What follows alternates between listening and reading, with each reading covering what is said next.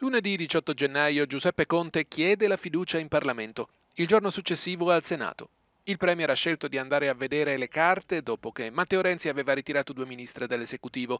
Nella giornata di questo giovedì si era recato al Quirinale. Ha poi scelto la strada politicamente più rischiosa. Tuttavia al Senato i numeri sono contro di lui. Il primo voto sullo scostamento di bilancio, che Italia Viva ha comunque promesso di votare con qualunque esecutivo, sarà invece mercoledì 20 alle 16. Sempre a Montecitorio.